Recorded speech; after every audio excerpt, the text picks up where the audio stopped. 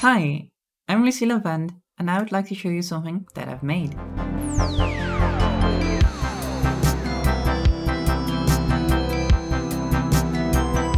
For those who are not familiar with my channel, I mostly create tutorials. And in the theory sections of those tutorials, actually I have my little character to the right and then I explain stuff on the left. How I used to animate these sections was by rendering out all the poses that I created inside of Blender. Then I would drag in those images into HitFilm. In HitFilm, I would drag them onto the timeline in the order that I wanted them to appear in. The transitions between these images was kinda boring, so I wanted to add a bit of a squash and stretch animation. But this was also the really frustrating part. Because what I had to do to create those animations was out my character and then reset it after a couple of frames. Then I had to select the position and scale and copy those properties.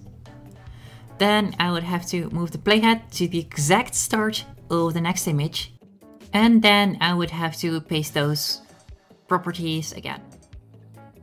I had to, to do this for each clip, which is not that bad, but if you have to do it a lot of times, then it gets quite frustrating. So, uh, how do you deal with this frustration? By creating an entire piece of software inside of a game engine. That's right, let's get started. Inside of Blender, I exported my character as a GLTF. And then I threw it into Godot, which worked flawlessly. Sort of. I needed to tweak some things about the textures. First I had to replace the embedded texture, because it was acting weird. And then I need to check the transparent and unshaded tags, which is so nice to have inside of Godot, instead of having to apply a different shader material. I'm not calling out anything in particular, but it's definitely Unity. And then I just needed to disable the filtering and disable the texture compression. I did that for all the other materials, and there we go, I am now inside of Godot. I added a green background for easy green screen keying, and I've added buttons to play the different pose animations. I can hold shift to play a stretch animation and hold alt to do a squash animation. Now that those basic features are in there, it's time to add some cool stuff. Let's make my character blink. My 3D model consists out of several different objects, for example, I have a separate object for the mouth and a separate object for the eyes. UVs of these objects are mapped to this sprite sheet over here, which contains a bunch of different expressions for the mouth and for the eyes. I can change the expression by snapping UVs to different spots on the sprite sheet. These UV changes can't really be exported through animations, so I created a custom shader inside of Godot. This shader is really quite simple. It contains the texture with all the mouth shapes, then an X and Y position on the sprite sheet, and a mouth count, which is how many mouths there are on the rows and columns. On this next line, I have a variable called mouth count scaled, which is 1 divided by the mouth count. So UV coordinates go from 0 to 1 on the x and y axis.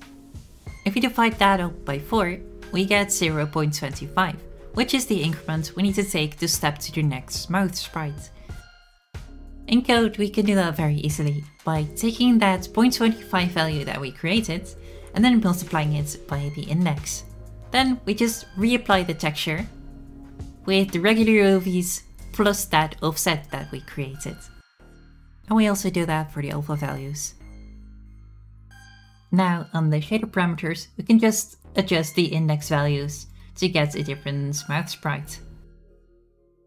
I've done the same for the eyes and I've added a little checkbox in the shader for blinking. I can then get a reference to that shader and set the parameter of blink and hook it up to a timer and then my character blinks, yay!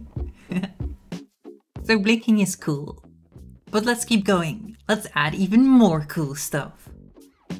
I wanted to add a bit of extra movement to the character, so I thought it would be interesting to add some form of lip syncing. To do that, I needed a way to get microphone inputs. And from that input, I needed to grab specific frequencies, and match the correct mouth sprite to that. For microphone inputs, all you really need is an audio stream player and an audio stream microphone resource. This resource grabs the default microphone that's set on your computer. Then I also needed to set the audio bus. I've set the audio bus to a new bus that I created called mic. You can create and edit audio buses in the audio tab at the bottom here. There are probably quite a few of you who've never used this tab, but believe me, it's pretty cool. You can apply a ton of different effects. In here, I've added the spectrum analyzer effect, which lets me, well, analyze the spectrum. I've used this audio visualizer tutorial by Gonkee to learn about how the spectrum analyzer effect works. Check out his new channel, where he creates a bunch of really cool stuff, and also some really cursed stuff. so I implemented the audio visualizer, and I use it to implement vowel recognition in a bit of a janky way. To recognize vowels in a voice, we have to look at the frequencies. The first peak is the root note, and then there are two other peaks, which are called the formants. These characterize vowels. Please correct me if I'm wrong. So in code, I just check for those peaks at different frequencies for different vowels. A, uh, U, O, S. The letter S is really easy to recognize because it's just air moving through your mouth, creating white noise. So, this is the final product. All I have to do is press these buttons to change my expression it's probably going to take me a little bit of time to get used to pressing these buttons while I'm talking, but when I record this with OBS, I can just drag the footage into HitFilm, then slap a green screen key on it, and then mask it, so I can easily use different backgrounds behind my character. Is this really faster than the old way? Mmm...